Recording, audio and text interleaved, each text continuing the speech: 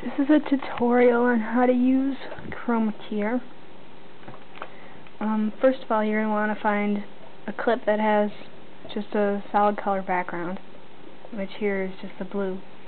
And you put that on top. It doesn't matter where, but and then on the on the below it, you're going to want to put your other clip. I just picked something random. Then you go to chroma keyer and just pick any one. There it already has it a little bit, but I'm going to unclick it.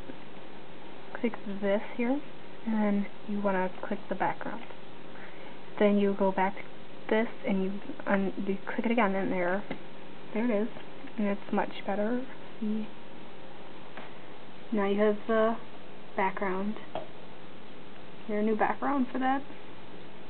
And that's the tutorial on chroma keyer. Thanks for watching, bye.